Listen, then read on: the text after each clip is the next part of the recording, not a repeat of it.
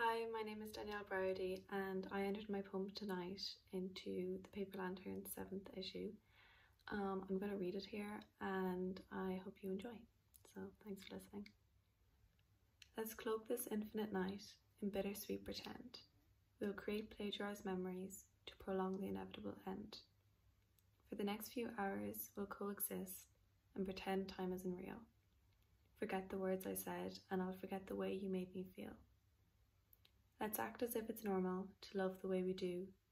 The moon's too high for me to question why I believed you like a fool.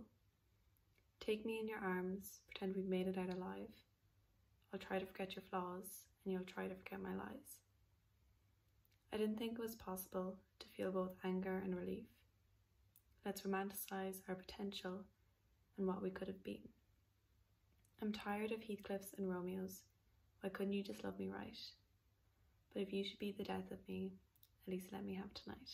Um, so a little bit about this poem.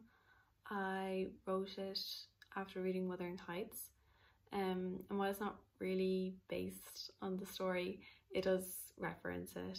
Um, I think something that's important to me while I'm writing poems is the rhythm and I suppose the mathematics of it because I think poems, well, the ones I write anyway, are meant to be read.